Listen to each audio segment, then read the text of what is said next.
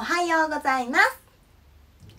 6月18日金曜日です。今日も一日頑張りましょう。今日6月18日はおにぎりの日だそうです。石川県六星町というところで日本最古のおにぎりが発見された日。とされています。